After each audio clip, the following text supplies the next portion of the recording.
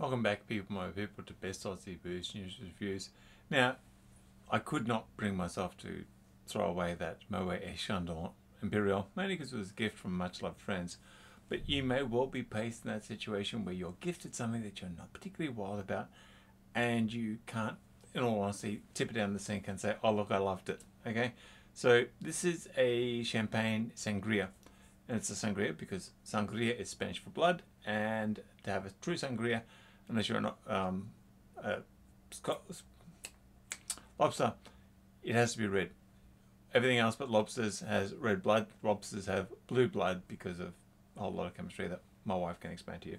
Okay, so this is a very, very simple, very, very quick champagne sangria to use up the brut or the dry reds that you really don't want to go drinking. Uh, I certainly found the Brut Imperial undrinkable, and that more likely labels me in some eyes as a uneducated philistine. Well, I beg to differ. I just don't like wine. So this is the simplest recipe that we can come up with. It's you whack in your your mulled fruit, you stump you, you know you stump your fruit up. Mine happened to be frozen at the time.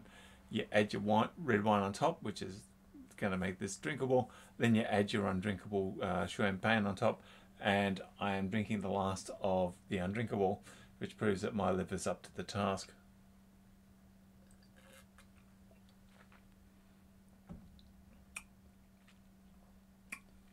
Look, that's now about 10 minutes old, and the best thing I can say is that I should have added more red wine to it.